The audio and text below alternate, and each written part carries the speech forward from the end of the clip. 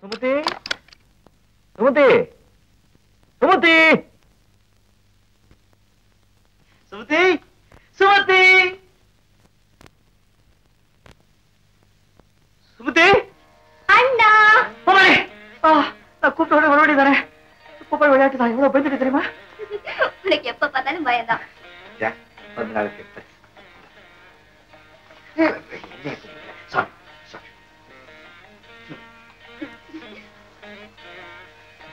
சாமி தெய்வம் அப்பா அம்மா அண்ணன் எல்லாம் நீதானே. ஆமா கல்யாணத்துக்கு முன்னால எல்லா பொண்ணுங்களும் இப்படிதான் சொல்றாங்க. கல்யாணம் ஆன உடனே எல்லாரையும் உணர்ந்துருவாங்க. நமக்கு தெரியாதா? தெரியுமா? நான் உனக்கு மாப்பிள்ளை தேடிட்டு இருக்கேன். ஆமா அதுக்கு நீங்க வைக்கப்படுற என்னமோ தெரியாது. யாரு கல்யாணம் ஆனாலும் எனக்கு எங்க வந்து முதல்ல உன் கல்யாணத்தை முடிக்கணும். அப்புறம் தான் நான் கல்யாணம் பண்ணிப்பேன். ஏன் சொல்றேன்டா? நான் கல்யாணம் பண்ணிட்டு போயிட்டா? அப்புறம் உன்னை கவனிக்க உனக்கு சமைச்சு போட. வேற யாரு இருக்காங்க? அதனால அண்ணி வந்ததுக்கு அப்புறம் தான் நான் இந்த வீட்டை விட்டு போவேன். ஆமா இப்போ ஊர்ல எல்லாரும் என்ன ஒரு மாதிரி பாக்குறாங்க. கண்டிப்பா பண்ண வீட்டை வச்சு நான் கல்யாணம் பண்ணிக்கிட்டு அவ்வளவுதான். அப்போ நீ இப்பதான் நீ என்ன சொன்ன? நானும் உன் தெய்வம் அம்மா அப்பா அண்ணா எல்லாம் சொன்னேன் ஆமா. அப்புறம் சொன்னபடி கேட்கணும் சரி. இப்போ நீ புது புடவை கட்டிட்டு வர்ற. நாம ரெண்டு பேரும் கோயிலுக்கு போறோம். போற வழியில கடலை உருண்டை கம்பருக்கட்டு பர்ஃபி எல்லாம் வாங்கி சாப்பிடுறோம். இவ்வளவு வயசாச்சு. இன்னும் அதை விட மாட்டேங்கிறோம். போன நான் எங்க விட மாட்டேங்கிறேன் அதான் என்ன விட மாட்டேங்குது. டாடி கூப்பிட்டீங்களாமே? பால் பவுடர் வந்தாச்சு. அது ஜாக்கிரதையா கொண்டு வந்துடணும் okay daddy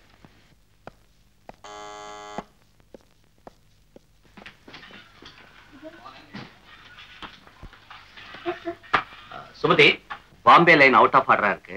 அதனால பாம்பே ஜான்சனுக்கு உடனே புறப்பட்டு வரும் பால் பவுடர் ரெடின்னு ஒரு தந்தி கொடு.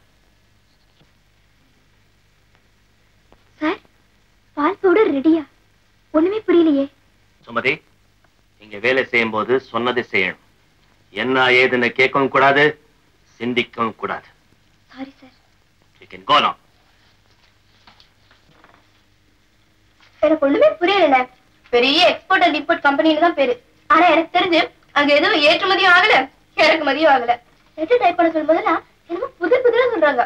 போமா நீ நான் இத்தனை வாட்டி சொல்லிருக்கேன். நீ வேலை விட்டுட்டு விட்டுட்டு சொல்லி. நீ கேட்கவே மாட்டேங்க நம்ம அசைவ சாப்பாடு சாப்பிடுறோம். சைவ சாப்பாடு. அது நான் சம்பாதிக்க சம்பாதி போதும் பணத்துக்காக மட்டும் நான் வேலைக்கு போறேன் எனக்கு பொழுது போக வேண்டாமா? கல்யாணம் ஆன பிறகு உன் புருஷன் உன்னை வேலைக்கு போக கூடாதுன்னா என்ன செய்வேன் குழந்தை குட்டியை பெத்துக்கிட்டு குடும்பம் நடத்துவேன். கல்யாணம் ஆன உடனே குழந்தை பெற்றுக்க கூடாது பாக்குறவங்க தப்பா நினைச்சுக்குவாங்க. ஆ சொல்லவே மறந்துட்டேன் உனக்கு மாப்பிள்ளை பார்த்தாச்சு. சும்மா செக்க சிவரும் செவப்பா இருக்காரு. பேங்க்ல வேலை செய்யறாரு ஸ்கூட்டர்ல வர்றாரு. ஆனா வரதட்சணை கொஞ்சம் ஜாஸ்தி கேட்கறாரு. ஐம்பதாயிரம் ரூபாய். பரவாயில்ல. வரதட்சணை கொடுத்து கல்யாணம் பண்றது ரொம்ப கேவலம் ஏதோ மாட்டை வேலை பேசினா கூட பணத்தை கொடுத்து மாட்டை வாங்குவாங்க. இந்த நாட்டுல மாட்டை விட பொண்ணுங்க கேவலமா போயிட்டாங்க. எப்படி எப்படி? பொண்ணையும் கொடுத்து பணத்தையும் கொடுக்க வேண்டியிருக்கு. அதெல்லாம் நமக்கு தெரியாதுப்பா. நான் எத்தனை வருஷமா உனக்காக பணம் சேர்த்து வச்சுட்டு இருக்கேன்? எதுக்கு? உன்னை ஒரு நல்லவனுக்கு கட்டி கொடுக்கணும் ஆனா கொஞ்சம் பணம் கம்மியா வருது. பரவாயில்ல நான் கணக்கு யாராவது கொடுப்பாங்க நான் அட்ஜஸ்ட் பண்ணிடுறேன். அப்படியெல்லாம் நீ கடன் வாங்கி எனக்கு ஒண்ணு கல்யாணம் பண்ணி வைக்க வேண்டாம். நான் சொல்ல மாதிரி நீ கேட்கவே மாட்டேன் போ. நீ எவ்வளவு என்கிட்ட பேச வேண்டாம் போ இருக்கு. ஐயோ நல்ல நல்ல சொன்ன மாதிரி கேட்கணும். சரி? சரி.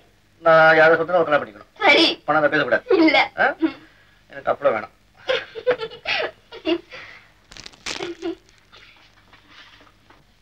மணி மணி! பலராமன் சார் கொடுத்த எல்லா லெட்டர்ஸையும் டைப் பண்ணி வச்சிட்டேன்.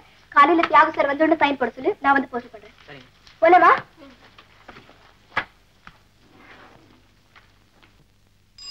இன்னைக்கு எங்க அண்ணன் என்ன நல்லா திட்ட போகுது. ஏண்டி? ஓவர் டைம் செஞ்சா அவருக்கு பிடிக்காது. நல்ல அண்ணன் தங்கச்சிங்க. அடடே. ஹேண்ட்பேக் ஆபீஸ்லயே மறந்து வச்சிட்டேன். நீ போ நான் எடுத்துட்டு வந்துடுறேன். ஐயா யாரும் உள்ள விடான்னு சொல்லிருக்காரு என் ஹேண்ட்பேக் உள்ள வச்சுட்டேன். அதுலதான் என் வீட்டு சாவி இருக்கு. சரி சரி சீக்கிரம் எடுத்து வந்துருங்க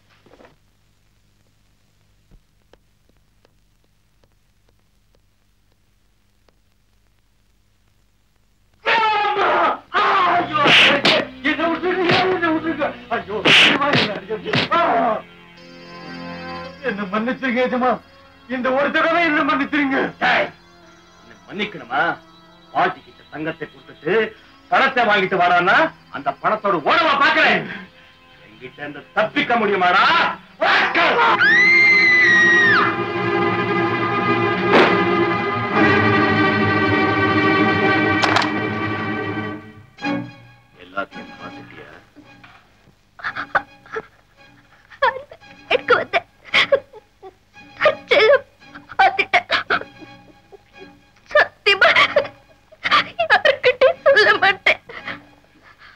ஐ வெரி சாரி சுமதி என் ரகசியத்தை திறந்த யாரும் உயிரோட இருக்கக்கூடாது.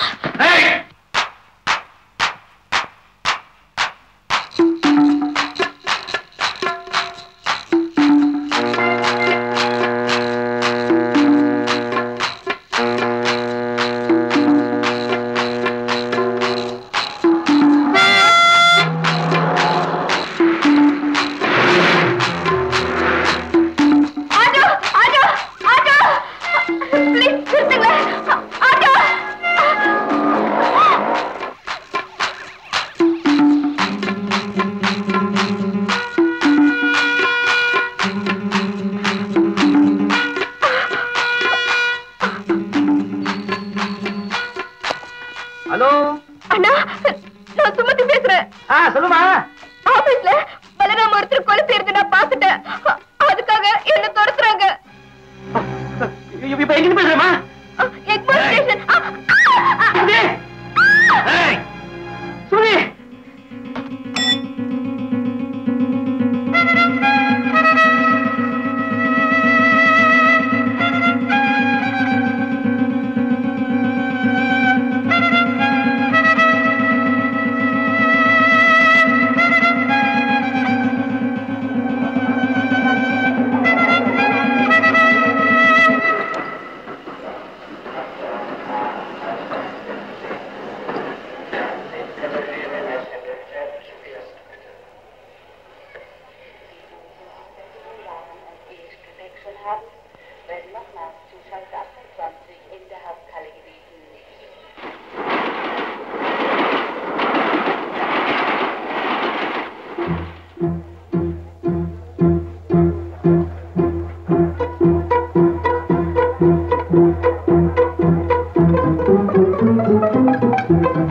കാണും.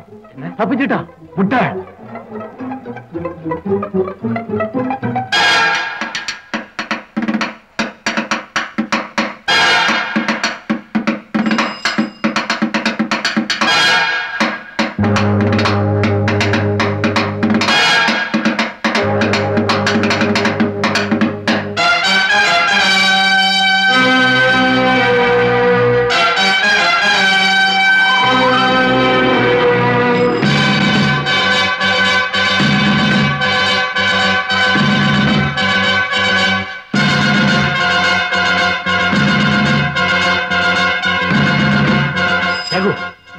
தேடுறேன்.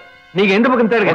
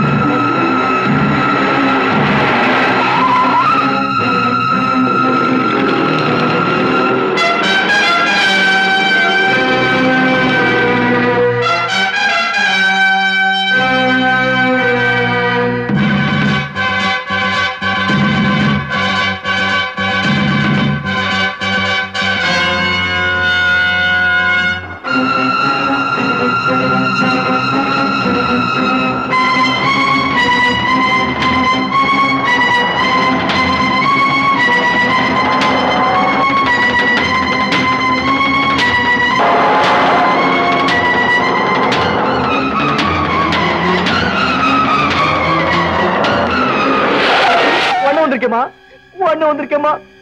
பேசுமா? சுமதி? சுமதி? சு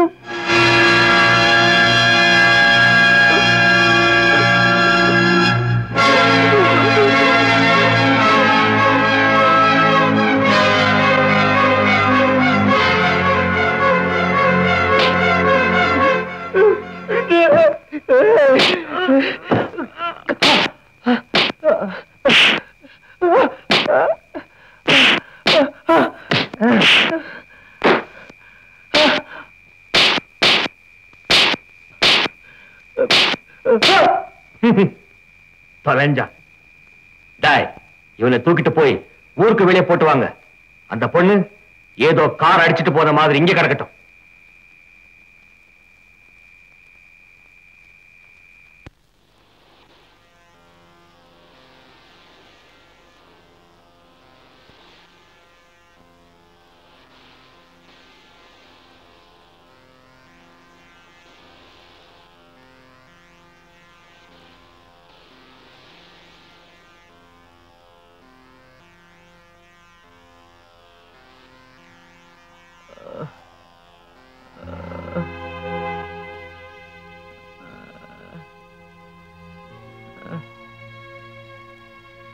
தம்பி?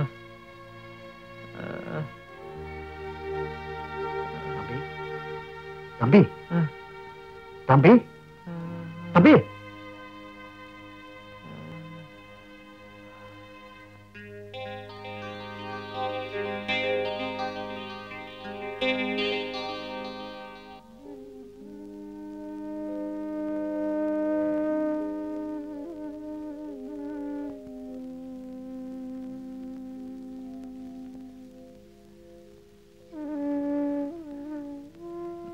இருக்க? பாதுகாப்பான இடத்துல தான்ப்பா இருக்கேன் எப்படி இங்க வந்து?